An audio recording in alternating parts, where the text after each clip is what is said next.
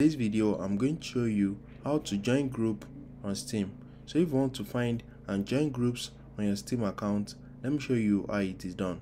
The first thing is open up your browser and you need to search for store.steampowered.com right here make sure you are logged into your account. So now take your mouse or your cursor to your name and you need to click on groups. So if you have the group link already just click on the link and it's going to take you to the group directly so right on the group page you are going to see something like join group right here. So just click on it. So if you just want to find the group that you want to join just come to this place and click on find a group at the bottom left corner. Once you click on find a group you can now search for a group that you want to join. So i'm just going to search for i. And we are going to see different groups. So now click on the group profile icon so once you click on the group profile icon it's going to take you to the group and now you can now click on join group.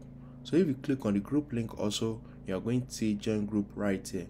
Just click on it and once you click on it that's it. We have joined this group. So it is very easy and straightforward.